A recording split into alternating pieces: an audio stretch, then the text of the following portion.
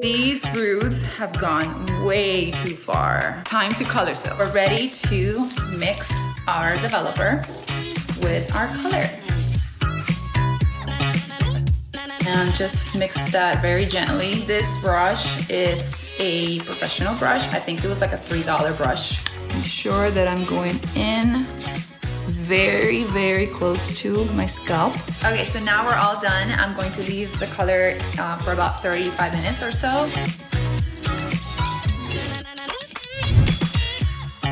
No more roots. Color like a pro.